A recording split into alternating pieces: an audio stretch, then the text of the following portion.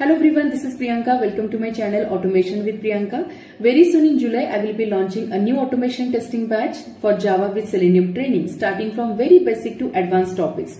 This covers all the framework like TestNG, Cucumber, Maven. You will get to know the current hot topic in the market, how to design your own framework from scratch.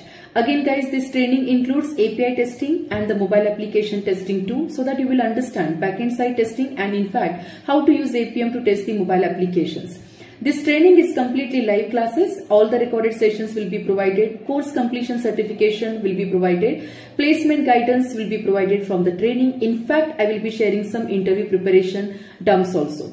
Along with that, let me tell you, like those are completely new in this field, you'll be getting manual testing recorded classes also, which covers Jira as well as JMeter training. So I'm adding some comment. I mean, I'm, I'm giving some link in the comment box. Kindly fill up the same and connect with me. Thanks for watching this video.